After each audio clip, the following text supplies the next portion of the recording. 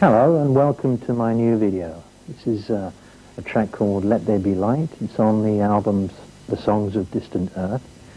And uh, I'd like to explain to you some of the images and how they were achieved. Now first of all, there was some live action which was filmed in Miami in Florida. Uh, these are these kind of images, beach scenes which you see here.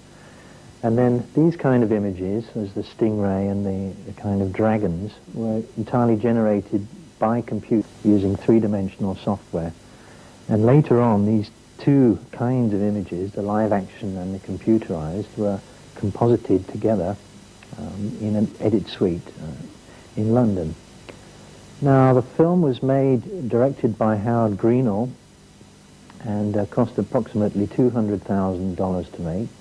Howard Greenhalgh was my first choice of director because I very much liked his previous video, which was for the Pet Shop Boys, and it was called Liberation.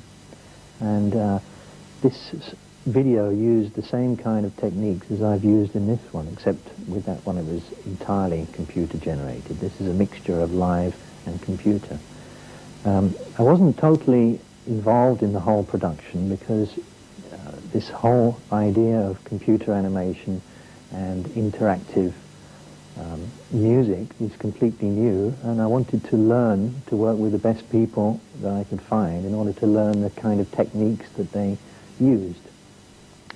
Now, um, the only time I appear in the video is uh, a little bit later on where you see um, a strange kind of textured model, almost like a statue of my head.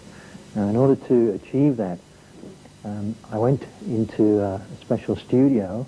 You can just about see it coming up here.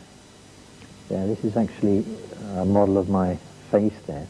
I sat there and um, this laser scanner went round my head in 360 degrees and actually mapped out all the, all the mathematical coordinates of my face.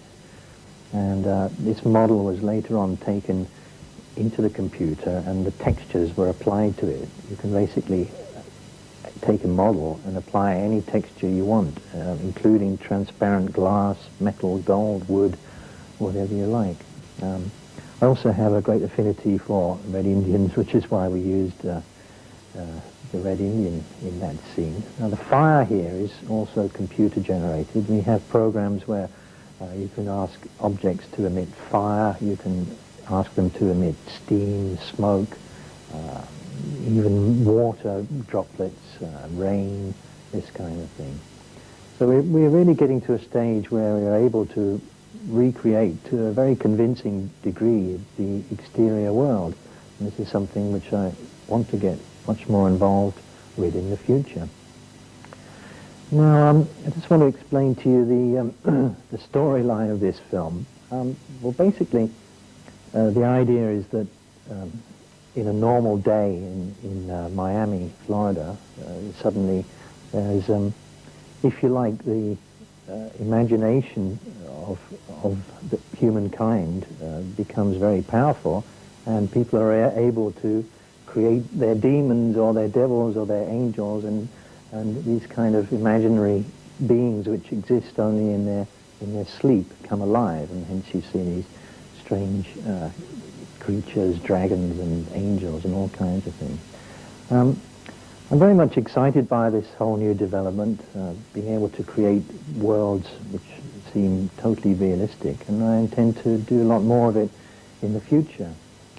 So um, I'll say goodbye to you now, and thank you for listening. Um, I hope you enjoy the video. Thank you very much.